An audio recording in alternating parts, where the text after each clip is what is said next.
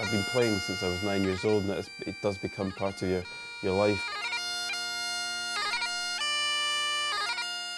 When Euan was about five, six, we were visiting my parents down in the south of the island and he found a chanter belonging to my father and for some reason he just was fascinated by it and he was desperate to learn to play it.